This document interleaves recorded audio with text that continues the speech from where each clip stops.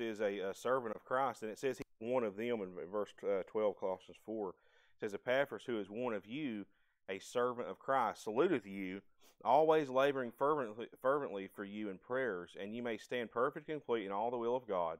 For I bear him record that he hath a great zeal for you, and them that are in Laodicea, and them in Hierapolis. So remember, like uh, Laodicea is really close to Colossians here, and actually in the book of Colossians it tells you, hey, give your letter to the uh, to the Laodicean church and get the letter that they have and read it. And some people actually speculate and say that uh, there's a missing letter of Laodicea or something like that, but there's not a missing letter of Laodicea. What happened was Laodicea probably had the, you know, the epistle to the Ephesians or one of the Corinthian letters or something. Uh, these letters were circulated all around the churches. What they would do is the Colossian church would get the Colossian epistle from Paul. They would understand this to be, you know, hey, this is this is from God through through Paul, and they would copy down that letter, and they would send the copy to the next church. You see, and they'd probably keep the original. That's what I would do. That's most likely what they did. And so they would send a copy of the epistle to another church, and that's how it got circulated around. And when you look at early uh, manuscripts, by the way, of the New Testament, this is why when you talk about Bible versions and stuff, have a lot of people that don't want to move away from their new versions to the King James. What you got to understand is all the manuscripts found in the areas of these churches, you know, Asia Minor as they call it, all these early church plants where all the epistles were actually sent. You know, you send one to Ephesus, you send one to Colossae, you send one, you know, here and there all these churches, they receive the actual letters, right? Those are the ones that agree with the King James when you find those. But guess what don't agree with the King James? Uh, Egypt. Well, turn to the New Testament book of Egyptians. Turn to the book of, you know, it, it ain't there. You understand? Alexandria. It ain't there. The Egyptians didn't receive letters. The letters were received by the churches in Asia Minor, which is where you find manuscripts that agree with King James what happened was that the churches over, you know, in Egypt, they they made their own thing. They were widely known to have their own little libraries with a bunch of little nerds over there that would change the Bible and stuff. And so these letters were sent to Colossae, sent to Ephesus, sent to Corinth, sent to Galatia, and they were all in uh, a general area, and they were not in Egypt. And no no letter was ever sent to Egypt, and that's why they agree with the King James. Now, Epaphras, it says, is one of these guys. So he's a Colossian, he's a teacher. it says that he has a great zeal for them, but it also seems like he maybe is traveling around to Laodicea and back and forth and here and there. Maybe he's a missionary of some kind. Maybe he's just a preacher who goes from church to church preaching. Anyways, there's a there's a chance, uh, a good chance, I would say, almost a solid fact that he was a Colossian. Um, it, it's also possible, though, that he was just saying that uh, Epaphras was a servant of Christ like one of you. And so there's a couple different ways you could take that. in Philemon uh, 123, it says, There salute the uh, Epaphras, my fellow prisoner in Christ Jesus. So later on, if you're reading Philemon, you actually see that Epaphras gets locked up in jail alongside Paul. And so, uh, if it's kind of interesting to think about as you just look through who this Epaphras guy is, you can do the same thing with other people like Demas. Demas one time is with Paul ministering. and Then later on, Paul says, Demas has forsaken me. So this Demas guy, I mean, it's a sermon all by itself, but this Demas guy was ministering with Paul, being a good Christian, teaching. And then you know what? Demas just one day decided, I'm tired of it. I'm done. And went back to the world. That's an option we all have. We can all do that. We can all just quit going to church. Would you be any less of a Christian? No, you wouldn't. You be you might be a bad Christian, but you would still be a Christian. You could just quit going to church. Church doesn't make you a Christian no more. Like uh, I think that was uh, what was that guy's name? Fell into Roman Catholic. Uh, Catholic uh, Billy Graham used to say, "Being in uh, being in church don't make you a Christian no more than uh, being being in a garage makes you a car." And that's true. You know, you don't have to go to church to be saved. You don't have to go to church to be a Christian, but to be a good Christian, you should. To be a good Christian, you need to read your Bible. And that, that's really the difference. And I'll tell you this Demas might have still been a Christian, but he, you know, he gave up on Paul. But this Epaphras guy was in jail right alongside Paul. So that just gives you, in case you ever wondered, you know, I don't have a whole lot more to say on that, but as you read through there, you just get these names sometimes. Who is Epaphras? And you can actually track these through the Bible and learn a little bit more about them. You know, Epaphras, he was traveling back and forth from this church to Paul, and uh, he declared unto them their love in the Spirit, it says. And so he was reporting on their works and their good deeds in, in Christ to Paul. He reported on their love for one another. Uh, he reported how they lo- had a love for the lost. You know, he was just kind of giving an update. It would be kind of like if, uh, you know, Jack permanently went to Florida or something, and he's like, Charles, I want you to keep the that church open up there, and I'm gonna have a church down here. But I had to think about it first off, but it's to say I did it. Well, every once in a while, we'd at least want Jack to come give us an update or something, right? It'd be, it'd be like having Jack in, and he's like, "Hey guys, I, you know, down here, you know, I got so and so and so and so, and they said to say hi." That's kind of like what this is going on in these letters, and it, you know, it's always a good thing to see people respond to what you say and to, to what you preach. And uh, over the years, you know, I've had a lot of different avenues for preaching, and I've had a lot of different reactions. And here, basically, what's saying is through Epaphras' preaching, through Paul's preaching, there has been, uh, you know, action. There has been reaction, and that's what compelling preaching and teaching does. Can anything that is biblically based leads to some sort of action or response. And the, the works that happen in response to Paul's preaching leads Paul to prayer. It says, when Paul hears of their salvation and the fruit of the gospel in their lives, he immediately begins to pray for them. Now, his prayer for them isn't like, hey, give them a bunch of money. His prayer for them isn't like even necessarily keep them healthy. It says he prays for them and desires that they are filled with the knowledge of his will in all wisdom and spiritual understanding. So his prayer for them, and you can you can go over that and, and see that in verse nine. His prayer for them was not a carnal prayer. Uh, so when he hears that these people are saved and he hears that they're doing good things for Jesus, he basically prays for them to be strengthened in those things, to do more good deeds for Jesus and to be closer to Jesus and to be more loving and to be more understanding. And that's one thing that the modern church and modern Christians have quit doing is trying to learn the Bible more or trying to understand things more, but that's not biblical. Uh, you know, Christianity astray today. Uh, they they they think that church is about music or it's about uh, emotionalism and stuff, and it, it's just not. That's why he prays for them to be uh, filled with the knowledge of his will. Church should be about edification, and that's really the the heart of a preacher is to edify. And I, I thought about this when I was doing this. I was thinking about back about like my my little journey here as a as a preacher and teacher. I'm sure it's similar to a lot of other people's. Uh, you know, I, I, I get saved, and you know, a year or two goes by, however however long, and then I, I kind of I, I come I'm back and forth with things. I start learning the Bible. You know, I, I commit myself really strong to church. I think a lot of times people do that when they're in their late twenties. Um, I don't think that's just a spiritual thing that happened with me. I think it is spiritual, but I think a lot of times when people are in their uh, younger 20s, they're not very mature. Uh, and when you're in your older 20s, close to 30, you start maturing a little bit. You get more serious about life. And I think at that point, in conjunction with, you know, God's drawing and re- rebuking my life, that's when I kind of bared down and started learning the Bible more, started trying to get people saved and witnessing to everybody. And the question I had all the time was, you know, what am I called to do? What am I doing here? And you might have asked yourself that question. And everybody does as a Christian. What's my spiritual gift and what would God want me to do?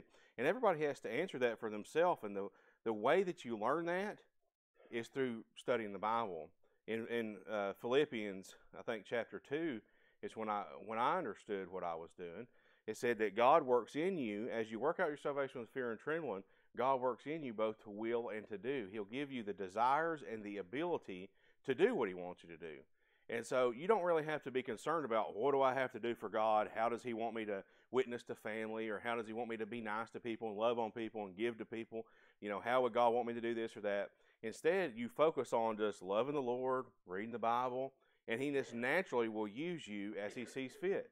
It might not be a daily, everyday thing. It might not be a weekly thing. It might be once a month. But He will use you as a Christian to help other people in the way that He wants. And I asked that question, and I, I, I was an evangelist of sorts for a long time. I evangelized our area here. That's why I know it's deader than a doornail, by the way.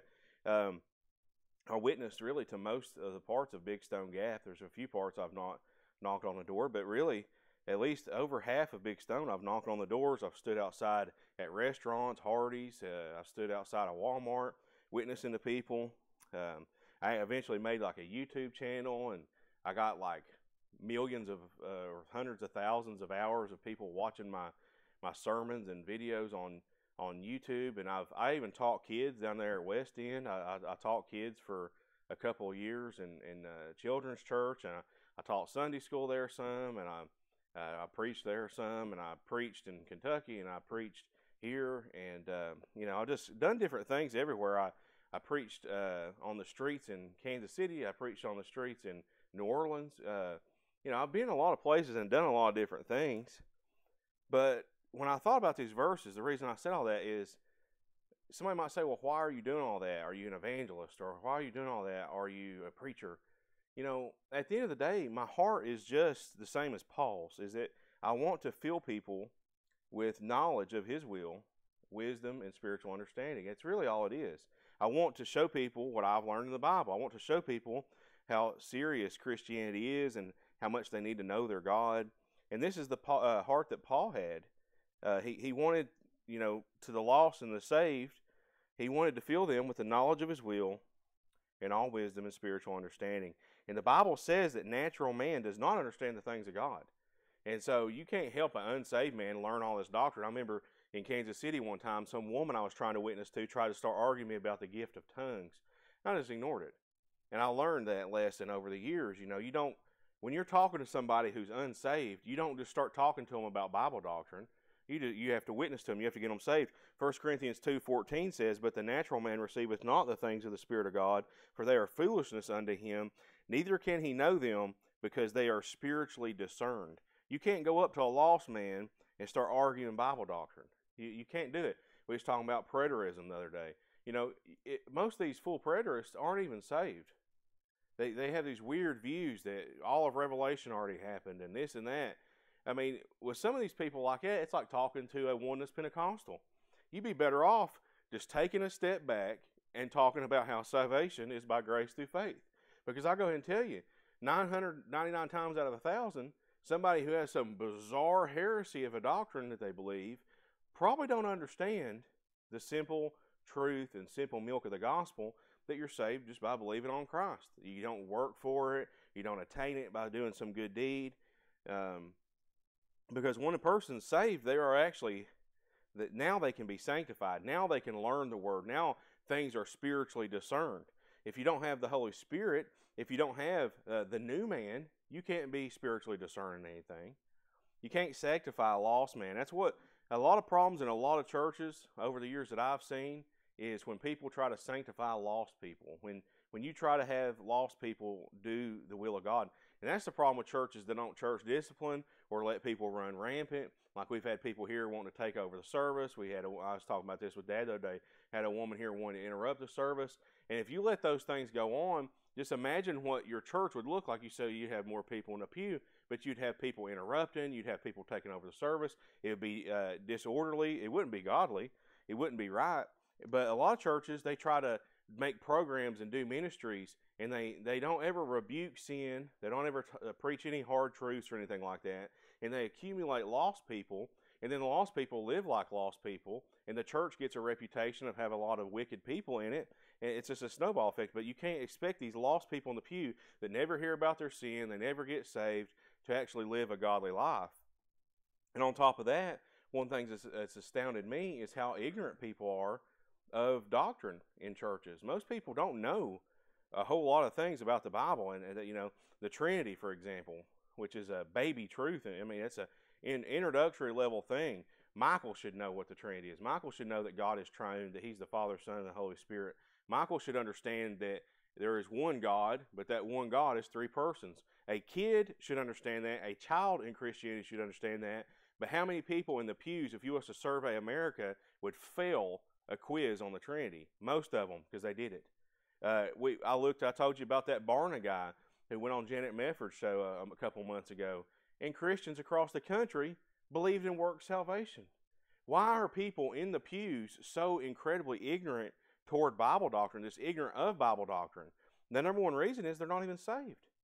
They don't understand because they got muddied up bad preaching. a guy named Justin Peters, uh, you know, he did a ministry and had a lot of good material uh, showing how phony these charismatic uh, Pentecostal type people were with their fake visions and their fake speaking in tongues and demonic uh, gestures and drunk in the spirit and all the kind of kooky stuff they come up with. But then he come out and said around 2012, 13, he got saved. He ministered for years in Christian churches. And he's like, I got saved now. I'm saved now all of a sudden. And so it's like, what in the world? Why? How are you saved now? And he said, Well, I finally figured out how repentance and faith aren't contradictory because he had a view of repent that meant quit works or quit sins, do works. That's not what repent means. Repent means to change your mind. That's not a work. If I if you say, "Hey, quit trusting in Muhammad and trust in Jesus," that's not a work. If you if I said, "Hey, change your mind about sin and can, instead of loving that sin, confess it to God," that's not working. You didn't have to actively quit the sin. I told you to change your mind about it. You see, it changed your mind. I don't love it. I hate it. God, please forgive me of it. That's that's a mind change. Repentance is not talk. It's not connecting like people do people connect it to this uh, outward physical manifestation. Now, it does work itself out that way eventually, right? A changed mind will lead to changed actions, but it's it's it's like the tree and the fruit. The fruit of the tree is going to be repentance, but the tree is actually you know what the word repent means. You change your mind, and the fruit of that changed mind is going to be changed works. Um, but so the people are mixing up categories and really, I understand it can get confusing at different points and understanding that repent means change mind. And the Bible says repent all over the place. God repented more than anybody in the Old Testament. More than anybody in the Bible, God repents. And so he said, Oh, I just understand now all of a sudden repent means, uh, yeah, it is works, but God gives us the works. That's how it jives with faith because God gives us faith because he's a Calvinist. You're not saved by works. What he was basically teaching now, I don't think Justin Peters is still saved. And I got I got a lot of people saying, "Oh, he's still saved," all this kind of stuff.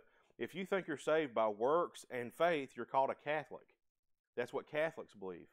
That's not what Christians believe. And yet, tons of Christians that come out of like John MacArthur's church and these other kind of churches, these Calvinist movements, this is what they believe.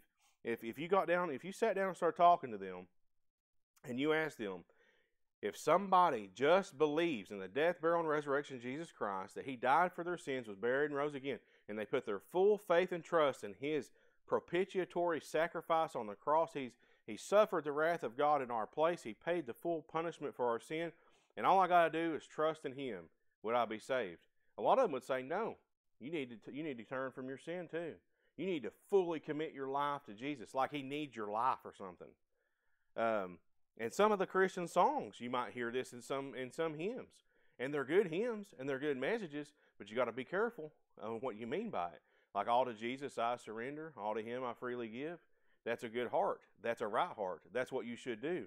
But do you think that you're saved by just here's my life, God? You, that ain't how you're saved. You're not saved by all right, I quit all my sins. No one's quit all their sins. If you're saved by quitting sins, you're not saved because you ain't quit your sins.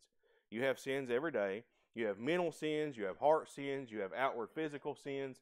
Everybody sins every day, and you never quit them all. And so these people in these churches, while they ain't being sanctified, while they're not being filled with the knowledge of truth, they're not even saved. They have a wrong view of salvation, like Justin Peters in his whole ministry, uh, Todd Friel, John MacArthur. I'll line them all up. Paul Washer. They all blur and muddy the lines. You say, well, you know, I don't think they're not saved. I think at the end of the day, these people they do believe in salvation by faith, but their doctrine is, to, they're trying to be contradictory on purpose.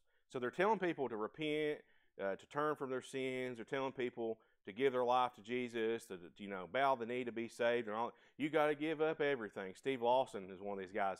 You got to be willing to give up your car. You got to be willing to give up your house. You got to be willing to pay it off.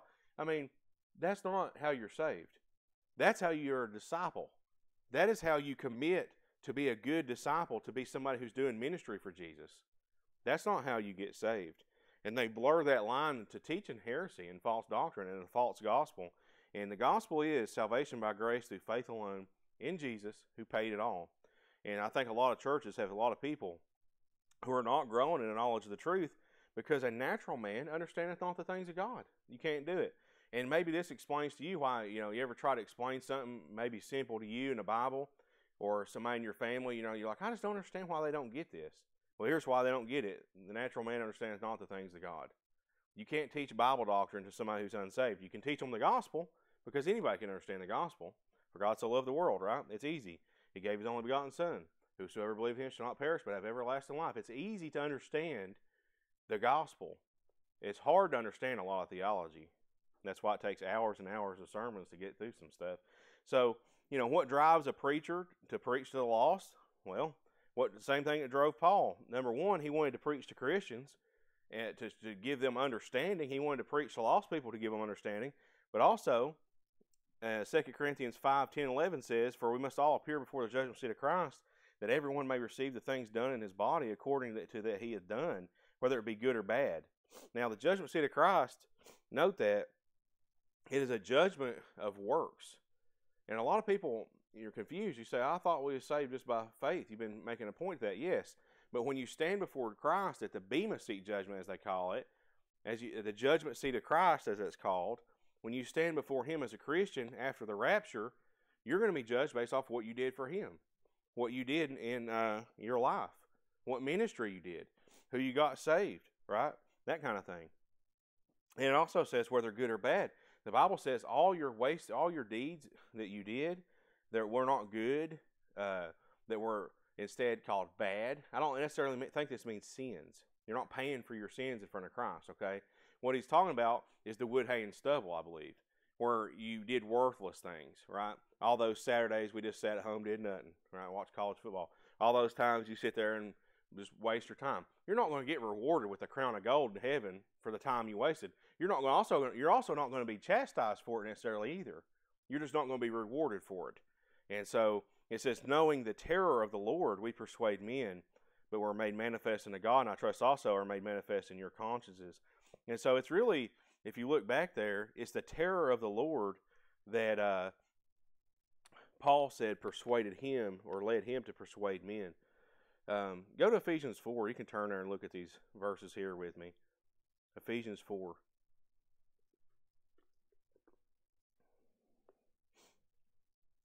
I have a lot of these verses already written down, but I'll, I'll let you look at this one.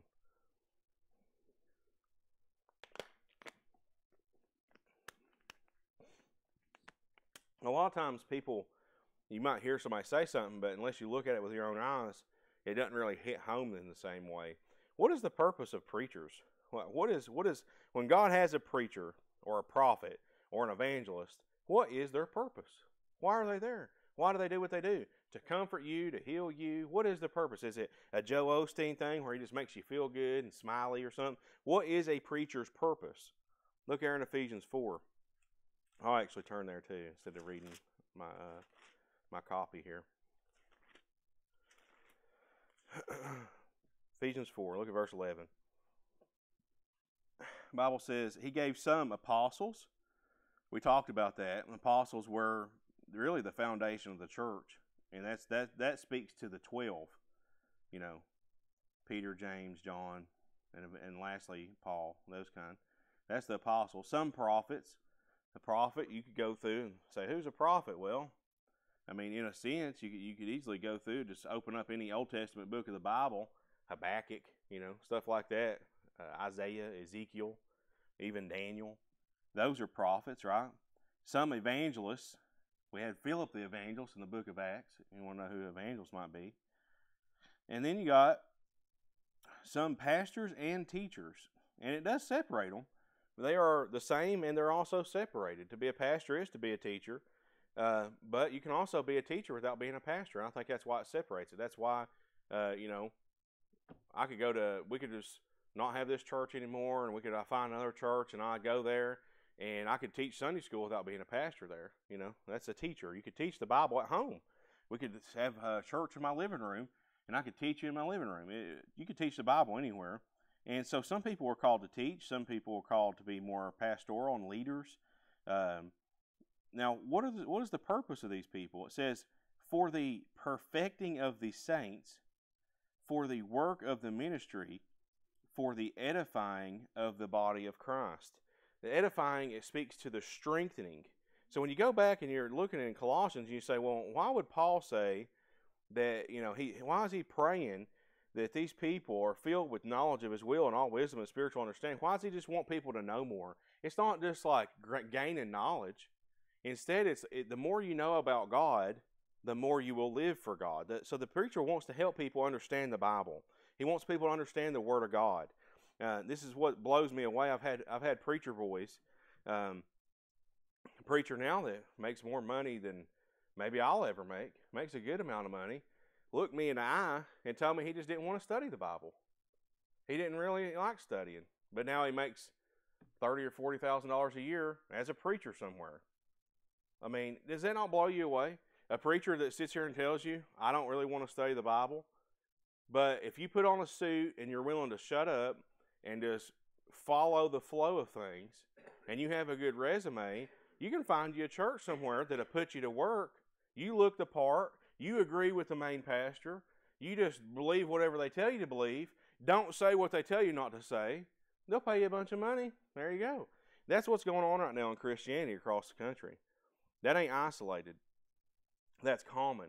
And I've seen more than one uh, person that I went to Bible college with or, or otherwise who have compromised in some way their views just to go halfway across the country and get a church and then they become lukewarm, watered down in most aspects, and they have their little pet thing they might talk about. Like I know one guy, he just talks about Pilgrim's Progress every single week, some book uh, John Bunyan wrote. But I mean, other than that little pet thing, everything else is just watered down. Everything else is just like you know general. They don't they don't teach the whole Bible. Preachers are phony. They're not like the heart of Paul that wants to teach you the whole Bible, right? Everything, uh, the hard stuff against homos to the great stuff about heaven to eschatology, back to Christology, soteriology, all the ologies, you know, they want to teach you everything. Strengthening people of God. And the effect of that preaching, it says in verse 10, back in Colossians 1, the effect of this preaching that will, you know, why, oh, I just want to preach, I just want to teach people, I want people to understand the Bible That's the heart of a preacher, right? Well, the effect of that is the reason that's the heart of the preacher. It's not just I want to fill people or Paul wants to fill people or any other uh, good preacher or man of God. It ain't like they just want to teach you the Bible. So, you know, ever wondered why we learn the Bible? You ever wondered that? I'm sure Michael's wondered that. Kids have all kinds of questions. Why am I learning the Bible? Why learn it? Why go through Colossians? Why go through Daniel? Why go through Revelation? Why go through First Thessalonians like we have here? Why go through these books about what's the point? Is it just to learn stuff? No, it gets to the effect the effect of the preaching, the effect of the learning of the Bible is, verse 10, that you might walk worthy of the Lord unto all pleasing, being fruitful in every good work, and increasing in the knowledge of God. You don't know how to walk if you don't know the Word. Uh, you ever heard somebody say so and so is living right? That's a real common thing in our area. You know, oh, you're, you know, I remember when I first started going to church, you know, back to town, I heard people tell me, oh, you're living right now uh, living right, living right. Well, this is what they mean right here that you're walking, that you're living correctly. That's what it means here when it says that you might walk worthy of the Lord. It's basically saying that you're walking or you're living right. We know what it is to, you know, we know what's correct by the Word. Now, think of it this way if you don't know the Word, how do you know what's right? This is what blows me away sometimes when people just act like they know everything. I know that's right, or I know there ain't nothing wrong with this. Well, actually, if you knew the whole Bible, you'd realize there was something wrong with it. And it's ignorance of the Bible that leads you to not know how to live. How do you know how to live for God if you don't know what God says? That, that's one of the main drivers I've had through reading the Bible. Why did I read through the Bible uh, as I have multiple times, really? Uh, get to the New Testament dozens of times. Why have I read so much of the Bible? Why do you read so much? I know Ashley reads the Bible a lot. I don't know how much you guys read. I don't, I don't live with you guys. But you know, when you read the Bible, why do you do it? Why, why are you reading the Bible? It's so you, you know how to apply the Bible. If you don't read the Bible, you can't apply it. If you don't know it, you can't apply it. And so many people claim, well, I just know this, God's okay with this. Oh, really? Do you just know that God's okay with it? Because there's a lot of Christians that think God's totally okay with homo marriage, with gay marriage, as they call it. Now, that ain't nowhere near acceptable in the Bible. Now, what on earth would lead somebody to think that gay marriage was okay or gay marriage was normal? Total ignorance of the Bible. This is the true God of the universe. The one true God gave us His word. This is what He says. This is what He tells us is true. And if you know what's contained in this, you know what God says. And this is another reason. Sometimes I, I don't have um, a a fear that someone else might have. I remember when I come out of Calvinism and I studied it super hard and I was like, man, I'm wrong on this and this is wrong and all this kind of stuff. I know I started saying stuff and some people around me or something would be like, well, you need to be careful how you're saying that. Now, why would someone say you need to be careful of, you know, condemning Calvinism or condemning this point here? It's because they might not know what I knew. And it's the same reason why somebody would be like, why are you being mean to the Jehovah's Witness? They don't know what I know. I know Second John. It says, don't even bid them Godspeed. Don't even say God bless to somebody leading somebody to hell. Why didn't you let the, uh, the Mormons in your house? Why'd you run them off and tell them never to come back? They don't, you don't know Second John, do you? You see, knowledge of the Word leads to correct living out of the Word.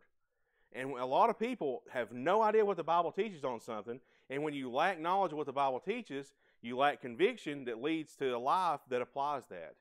And there's a lot of people who aren't applying the Bible, and this is why they don't know it. I actually believe a lot higher. I mean, I have a I have a lot more faith in a lot of people. You know, it ain't that a lot of Christians are just real bad people. I think a lot of Christians are just really ignorant. No one's ever told them the truth. No one these Christians, they if they knew what the Bible really said about stuff and had it clearly taught to them by a good preacher, they would say, "Whoa, I've been saying that gays are born that way. Romans 1 says gays become gay by, by the wrath of God. Wow, I never understood that. I read Romans 1 today. The preacher, I followed along with the preacher, and I understand that now. You know, simple teachings like that. Oh, people can become reprobate.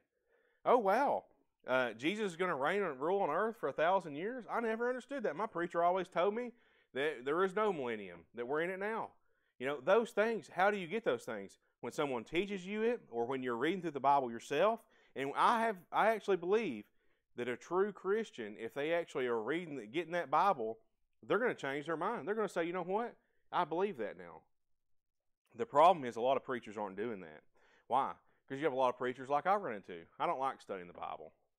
So if you don't have a preacher who don't want to study the Bible, who don't want to learn the Bible, how's he going to teach the Bible? You can't teach what you don't know. And you can't live out what you don't know. And that's the point of this is the same reason Paul or me or anybody else wants to teach people is so they can live it out. It's the effect of the preaching. If your theology doesn't you, lead you to holiness, then your theology is wrong. If your theology and uh, understanding of God leads you to live an uncaring life that you never witness to nobody, there's something wrong with your theology. So, in other words, you know, proper theology leads to proper action. I'll cover this last verse here and I'll close here. Verse 11 says, Strengthened with all might, according to his uh, glorious power, unto all patience and long suffering with joyfulness. So the strengthening here is not a physical one. It's not talking about you know, lifting weights or something. And this is what a lot of people don't understand. Um, and this is why I, I changed my mind in a lot of ways. When I used to start preaching back in 2012 to when I do now or something, I, I come to understand over time, and I even talked about this with other preachers, and I agree with them. Preaching is a spiritual exercise. Pre- preaching and teaching, when you're sitting in a pew and someone's in front of you re- reading the Bible and applying the Bible, and we're praying to God and we're doing all this in the Spirit, it's a spiritual exercise. It's not a physical one. And you know, even Bible study, when you're reading the Bible at home, that's not a nor- it's not like you're reading you know uh, what's a normal i don't read normal books what harry potter you know? Um, it's not like you're reading harry potter it's not like you're reading some other uh, worldly book that some man wrote. When you're reading the bible it's a different thing. And i think a lot of times we think of these things carnally. We see them uh, with you know in a worldly way like oh, i'm going to read this book here. Well that's the bible. It's different. The bible is different. It's not just like any other book it, the Bible is, is actually the only book ever written by God. And so when you read it, it's different. It transforms you, it, it changes you. And, and preaching's different like that too. This ain't just like a lecture you get at college. That, I mean, I know some preachers, and maybe even me, sometimes it might sound like a lecture, but it's not. It's a spiritual exercise, one in which God will join the preacher and empower him and lead him to say and, and do things that help the people. That's what it, that's naturally the way that it is. you can't see spiritual transformation. It, but it's a lot like John 3, if you think of it this way. In John 3, Jesus said that it's like the wind, right? When you talk about someone being born again, that you you you can't make it happen yourself. It's an act of God, right? God brings somebody to spiritual life. That's what that's what happens. Now, that's after you believe in Jesus. That's what the Bible says. But God brings somebody to spiritual life, and you can't see that inward change. When someone gets saved, you know, I've I've I've seen people pray to accept Jesus, and you can think back to when you got saved, where wherever it was, whether it was in your room or on the side of a road or you know in a church or wherever it was you got saved. Maybe it was in your kitchen. I don't know where you got saved. Wherever you got saved, think about that. Now, did you see a bolt of lightning strike you and like you know some little Casper like spirit floating to your body? We didn't see anything but you know that there's a change. That's the difference. That's that's what it is. And that's the same thing with preaching and teaching and reading the Bible. You can read the Bible at home and you say, "Well, I read a whole book. I don't know what changed." Trust me, something changed. God, the Holy Spirit in you, takes that word and he works it through your spirit and out in your life. And in preaching and teaching when you're in church, the same thing happens somewhere in the sermon, somewhere in what I say, or somewhere in what other preacher says, or preacher Bingham, whoever you listen to on TV or whatever, uh, even Charles Stanley, who retired now, I guess. You know, when you listen to these preachers, they will say something. It might not be everything. You might not even like the whole sermon, but they'll say something in there that God wanted you to hear, and God will use that to tweak your understanding of something and to make you curious about something and to lead you into something. That's the way that it goes. That's the way that God does these things. It's a spiritual exercise. This isn't some like class you could take where it's like, you know, I'm hitting all the points. That's what some dead as a doornail preachers I've seen do. They write a paper and they try to just nail every point, and they don't understand that preaching is a spiritual exercise. It's a, a spiritual transformation. And the results of that spiritual transformation are number one, this is what he goes through here, by the way. Back in Colossians, that's what I'm that's what I'm working through, whether or not you realize it, I guess. Um, patience. You see that in verse 11? When he says, unto all. So his glorious power works these things in you. Unto all patience. That is, the, uh, able to accept or tolerate delays, problems, or suffering without being annoyed or anxious. So I guess you could say going through a trial without breaking down. Me and Dad was listening to a sermon. This guy brought up Job and talked about how Satan said all of the man will you know, he can he'll curse you. A man will give for his life. All man will give for his life, right? You know, but for somebody who deals with sickness or cancer or some bad disease or you know some trial life, and they don't break down, they don't curse God, they don't lose the faith. That is a patience, a long suffering that is a blessing of God. You say, how can I have that? I don't feel like I'm very patient. I don't feel like I, you know, am calm and collected and content like I should be. Well, maybe you need to actually absorb more of the Word of God and let God work that in you. Because as you know the Bible, and it's not just, well, I read me two verses, you know, I'm done, I got my reading done. Are you actually communing with God? Do you actually absorb it? Are you thinking on it? Are you meditating on it? You know, listen, listen to a sermon alongside that. You know, there's a lot of good preachers out there. You could find a sermon on. Listen, meditate on His Word. The Bible says day and night. This is not something where it says, I just got that done. I'm going to go do my life. That is how you see real transformation. Endurance and perseverance, which kind of goes along with the first one. Um, and then joy. He says all these things are worked in you by God. Now, joy is something a lot of people misunderstand. And, um, you know, a lot of people just say joy is happiness. And it can be happiness. If you look up uh, a definition of joy, it says great pleasure and happiness. But, it, you know, joy, when we talk about joy biblically, it's not to be under, misunderstood as just being happy all the time. And I've seen a lot of preachers like that. I, I used to work at the town, and there's a guy come down there one day. We was all sitting there at the time clock out. And, you know, here I am. You know, everybody knows I'm a Christian and whatnot, so, you know, they try not to cuss around me as much or something. And here I am. I'm sitting here, you know, I'm sitting here at the time clock out with everybody. And here comes this preacher guy. And the whole time, he's just like, you know, he's one of these guys. The whole time he's smiling God bless you, brother, you know, that kind of thing. The whole time just smiling his, his little head off like that. Do you think he does that all day and night? Do you know anybody who all day and night, God bless you, brother? You know, nobody does that. That's not real. Do you think any? Do you think if he did what I did? Do you think if he threw garbage for eight hours, he'd just be running around like it, you know what I mean? That's what a lot of these preachers are. They're just running around, big old grinning, you know, hey, and they got this spiritual language. That ain't realistic. And some people might say, well, he's joyful and you're not. You ever believe I'm joyful? And there's a there's a a lot of people make fun of these memes. You ever you know what a meme is? They got a picture of these uh, Baptist women, and they're all like in coats, and they're sitting there like this. And the meme will say, "I got joy, joy, joy down in my heart." You know, it's like it looks like a lot of unhappy women. But listen, the joy of the Bible, the, the spiritual joy, is not tied to just I always got to be smiley and I, there's nothing ever wrong. That's not what joy is all about. Joy is tied to salvation. Joy is actually tied to knowledge of the Lord. Uh, joy is this even though I might be down and depressed and I have anxiety and have health problems and no money and this and that, and the world, you know, sucks. It's hard, right? Thank God I'm still going to heaven. That's joy. And that don't always manifest itself through fake, uh, you know, piety or whatever these people say.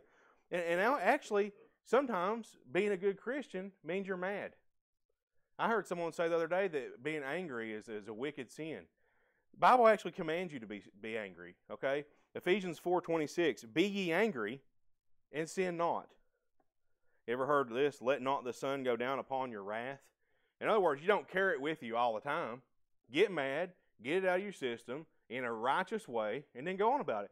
This is one thing I've learned to do with teaching. You know, I don't just dwell on something. I, you know, you notice how I am not hitting on Calvinism every single sermon I do, but I do hit on it sometimes. But you know, when you teach against a heresy or you're teaching against a false thing as a preacher, you get it all in your system, you get the teaching out there, and you're done. But some people, day and night, their whole ministry is the King James Bible version issue. Their whole ministry is Calvinism uh, is heresy. Their whole ministry is you know X Y Z. Their whole creation ministry, Kent Hovind. You know, they're letting the sun go down on their anger. They hate this one bad system of theology, and their whole life gets consumed with it. Instead, your whole life should be consumed with the knowledge and glory of God, the Bible, the whole Bible. I want to teach you the whole Bible. But they've got consumed with this one thing. They got angry, which is good. It's good to be mad.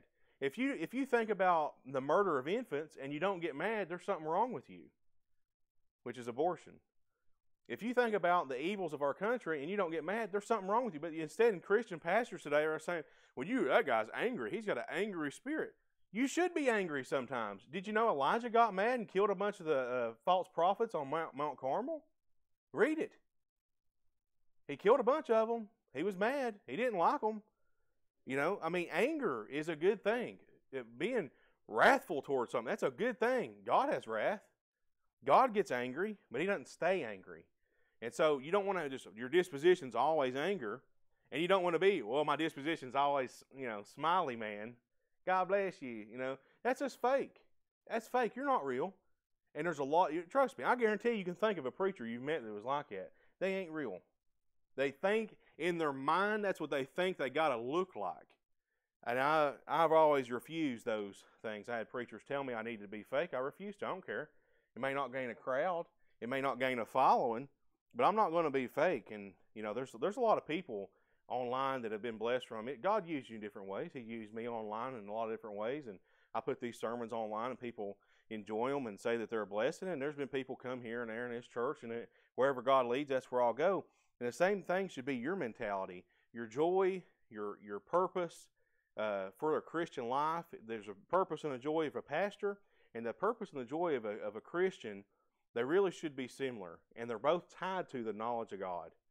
That's why you say, "Why should I read my Bible?" You can't you can't do what God wants you to if you don't know what He says. You can't live a godly life if you don't know what He says. And so I I'll, I'll kind of leave it there. There's more that I could say, but I'll uh, I'll end on that point. Let's go, Lord, in prayer. Father, I thank you for an opportunity to worship you there this morning. And again, I, I lift up the people who aren't here and uh, all the people in the churches around us. I know I don't agree with their doctrine, and they're they're not really anywhere I would ever tell somebody to go. But there's a lot of good Christian people that go to these churches, and I just pray God that as their churches are closed down and we're trying to battle the coronavirus, and each person's having to make their own decisions and and whether or not they should go out. I just pray that, you would draw them to you and maybe even lead them to good doctrine in some of these bad churches. Help us as your people get through this season in, in a wicked nation trying times, surely hard times to come. And um, as we acknowledge your wrath upon this nation and this world, we thank you for your mercy and your, your infinite blessings you've given us through Jesus Christ, your Son. And it's in His name we pray. Amen.